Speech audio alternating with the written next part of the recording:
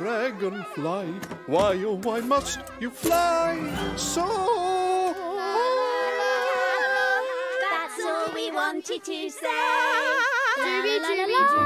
Hey, Lily, Benjamin. Oh, hi, Peter. How are you, Dooby Dooby doing? I'm dooby doing just fine. I forgot all about the auditions for Mr. Fisher's recital. Are you going to try out, Peter? No way!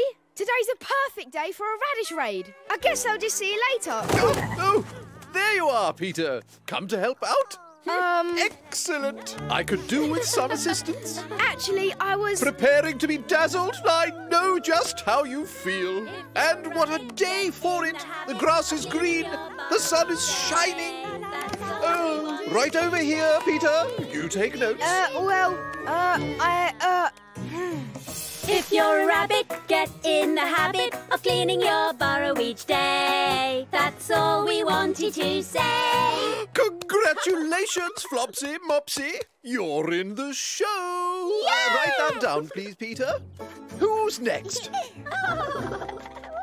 Carrots and radishes and cucumbers and radishes. I think she's just listing vegetables. And, Um, carrots. Adorable! Such raw talent. She's in too. Nice singing, Cottontail. Bye bye. Next, please. I'm ready for my audition.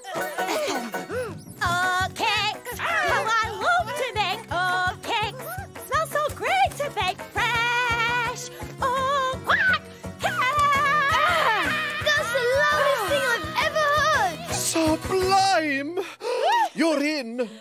And last but not least, we have Squirrel Nutkin. Oh dear, wherever could he be? Was I too quiet on that last one, Mr. Fisher? I'd be happy to try again. Oh, cakes! We'll go and find him, Mr. Fisher. Yes, that's a good idea.